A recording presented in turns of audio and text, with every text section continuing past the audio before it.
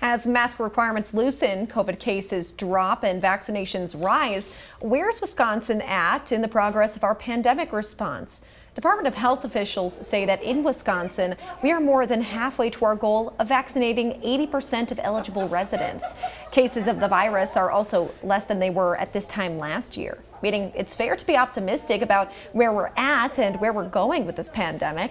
But officials say we are not yet at a high enough level of vaccines to have reached herd immunity, and that if people relax too much on precautions, such as large indoor gatherings, we could see outbreaks. We've made a lot of good progress. We have levels of protection, meaning immune protection from vaccine and natural infection, that are higher than we've ever had. So we should be, be proud of our response in many ways. Um, but we should also be honest with ourselves that the, the pandemic is, is not over. Officials say Wisconsinites need to continue to be vigilant in doing what we can to stop the spread of COVID 19.